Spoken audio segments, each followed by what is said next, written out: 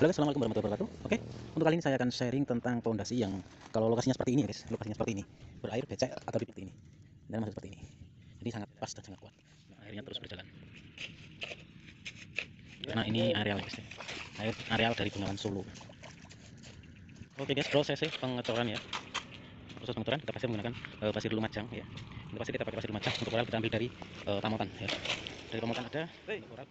Kurang koral.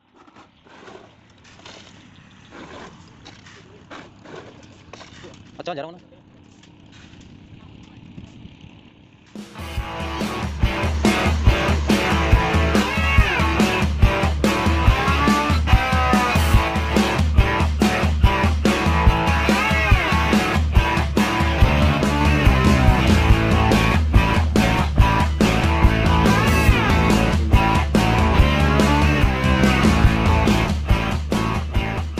Halo guys, assalamualaikum warahmatullahi wabarakatuh. Oke, untuk kali ini saya akan sharing tentang pondasi yang kalau lokasinya seperti ini ya guys, lokasinya seperti ini, berair becek atau di pinggir sawah. Nah, untuk kekuatannya gimana? Jadi simak terus prosesnya, jangan lupa di like, di share, komen dan subscribe-nya. Oke, kita mulai uh, ke tutorialnya ya. Jadi untuk rumah itu ukuran berapa aja kalau di tempat seperti ini ya guys? Kalau di tempat seperti ini tuh harus super super kuat ya. Ini kemarin untuk sepatunya atau cakar ayamnya saya buat ukuran 70 guys. 70 berarti galiannya 80 ya. Galian 80 nah untuk ini stros untuk stros besi stros saya pakai besi 10 untuk bagel besi 6 nah untuk eh, kedalaman dari dasar eh, sepatu itu 2 meter. Ya. 2 meter dari dasar sepatu. Untuk jarak kita ambil 3 meteran. Ya kita ambil 3 meteran eh, supaya kekuatannya lebih maksimal. Nah untuk setan pondasi itu terserah. Nanti mengikuti yang di atas. Ini kan slope slope double guys. Rencana saya kasih slope double ini kan slope yang bawah. Nah untuk slope yang bawah ukuran kita kasih 14 kali 20 ya. Untuk bawah kita buat 14 kali 20 terus ini kita buat ukuran 12 ya. Ini ukuran 12 jadi masuk sempurna guys ya. Masuk sempurna seperti ini ya. Masuk seperti ini. Dan masuk seperti ini. Jadi sangat pas dan sangat kuat. Nah jadi untuk caranya seperti itu. Yang mau tanya silahkan tinggalkan juga di kolom komentar jadi nah untuk pasang umpak yang paling bawah itu kalau di sini namanya malang ya guys. Jadi ke arah ke arah sini. Pertama ke arah sini lalu yang selanjutnya ke arah sana. Itu nama kekuatannya maksimal. Jadi yang bawah itu melebar yang di atas sudah memanjang. Jadi seperti itu. Nah untuk proses seperti ini kalau di lokasi seperti ini guys itu wajib. Ya kalau menurut saya itu wajib kalau nggak seperti ini kekuatannya kurang guys. Ya jadi rencana untuk slope double nya kita kasih yang pinggir muter. Tapi stros tetap tetap ada stros ya.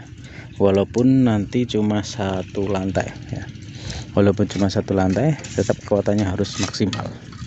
Nah untuk yang sini kita tuh ya.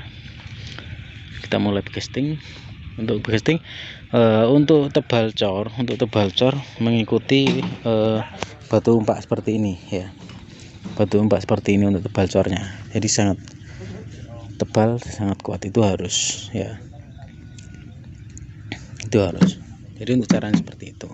Sekali lagi yang baru bergabung silahkan di like share komen dan subscribe. Nah yang mau tanya-tanya silahkan tinggalkan saja di kolom komentar jadi untuk caranya seperti ini guys. Ya. nah di sini airnya terus berjalan ya airnya terus berjalan. Karena ini areal ya guys deh. Air areal dari Bengawan Solo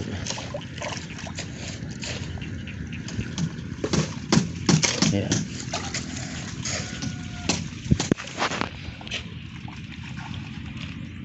jadi untuk teknik yang benar seperti ini. Nah nanti uh, untuk ukuran itu ya guys. Untuk ukuran uh, cor itu sama aja ya. Kalau campur cor yang penting bagus. Yang penting bagus. Makum makum rondo ering ngomong isor aja lurus. Dan bapak ya. Jadi caranya seperti itu. Nah untuk seluruh doublenya seluruh doublenya bawahnya itu harus mengikuti umpak yang dipasang seperti ini. Untuk ketebalan untuk ketinggian itu harus sama ya. Nah nanti yang di atas nanti kita kasih ukuran sekitar 18 kali hmm, 30 itu untuk seluruh atas oke? Sekali lagi yang baru bergabung silahkan di like di share komen dan subscribe ya guys ya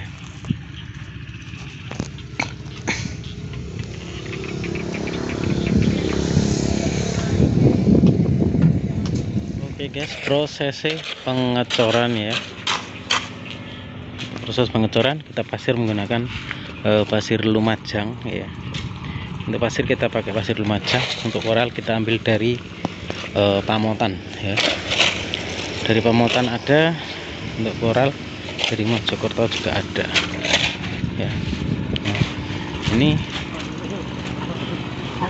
jadi sudah uh, proses pengecorannya guys. Jadi menggunakan arko itu lebih cepat. Lebih cepat kita pakai arko daripada pakai timba atau pakai ember. Cara castingnya seperti ini.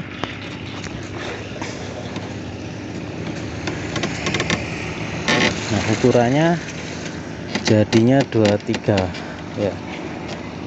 23 persegi jadi mengikuti mengikuti ini umpaknya ya jadi prosesnya seperti ini.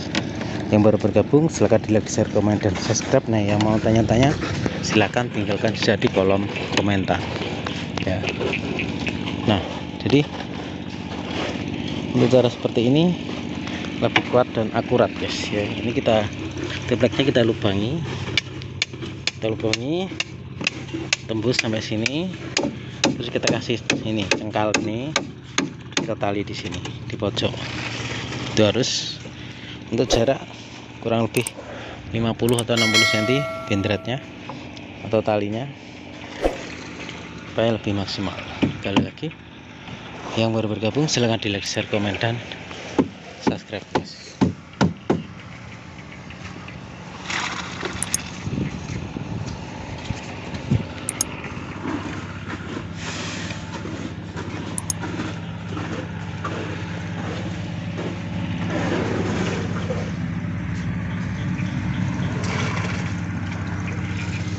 Oke untuk jarak bagel jarak bagel kita kasih 20 ya. Dari sini sampai sini 20 untuk lebar bagel 14 untuk tinggi bagel tinggi bagel 20 ya. Yang masih belum paham silahkan tinggal saja di kolom komentar. Jadi prosesnya seperti ini proses cepat aman dan akurat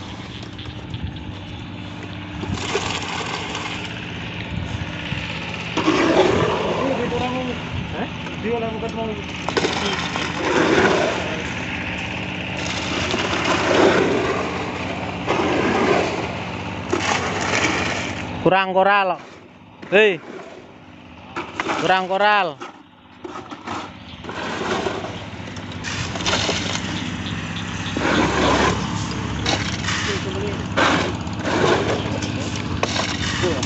Aja jarang ngono.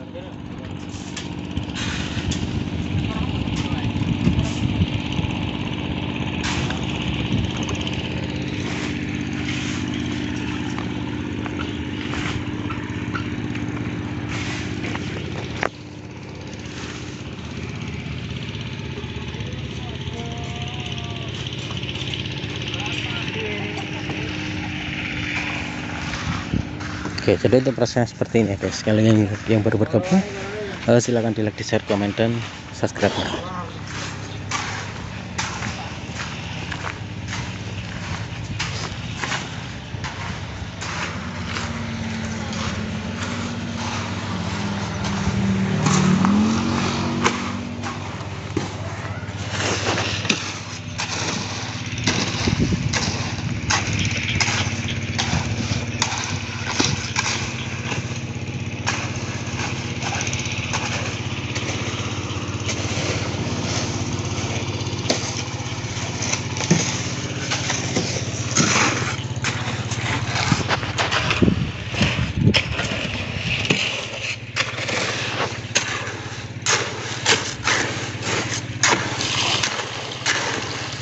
Wes Gus, nanti setoro.